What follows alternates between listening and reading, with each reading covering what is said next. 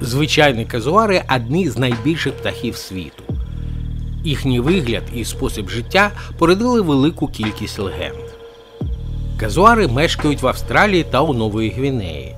Аборигени вважають, що абсолютно все, що існує на землі, вийшло з гігантського яйця казуару, адже він один з володарів тропічного лісу. І по часті це правда. Насіння деяких рослин не може прорости у ґрунті, не пройшовши стравохід птаха і не втративши покривну оболонку. У легендах це птах одинак і птах воїн, що відповідає його вдачі. Як і належить воїну, у казуара є шолом. У дорослого птаха він жорсткий, багатошаровий і нагадує ріг.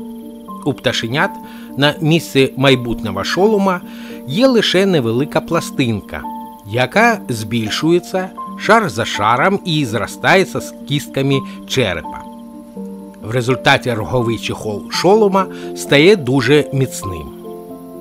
Раніше вважали, що шолом допомагає казуарам прокладати стежки і навіть захищає птахів від плодів, що падають зверху. Але шолом виконує кілька функцій.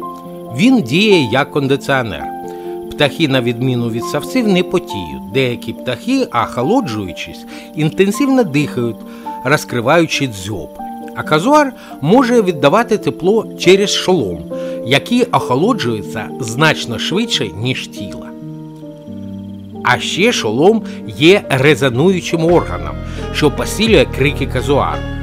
Цей шолом надає казуару схожість з динозавром, що мав такий самий багатофункціональний гребень.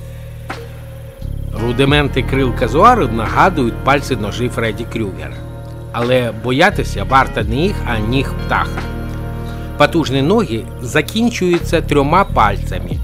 На середньому довгий гострий кіготь, який є зброєю захисту, і горя тому, хто нападе на малюків казуара. А що може бути гірше, ніж померти від стусану птаха?